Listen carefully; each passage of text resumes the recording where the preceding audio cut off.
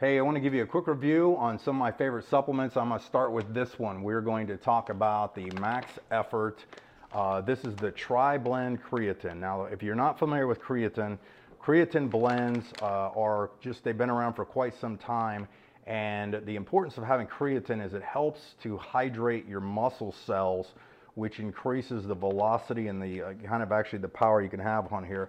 Now, if we look here, what makes this product unique is, let me flatten that out a little bit, is you can see right here that they got the creatine monohydrate, the AKG, and the HCl. So in combination, you get much better absorbability and function. So when you're taking it, it actually gets into your system much better.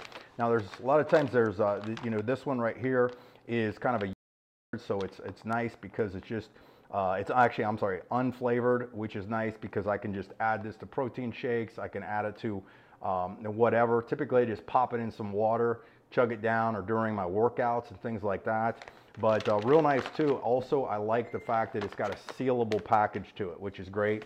These are much better too. My my uh, my opinion is in packaging. I like the fact that these kind of packaging is as, as opposed to a lot of the big tubs that used to have out there, which take up too much space.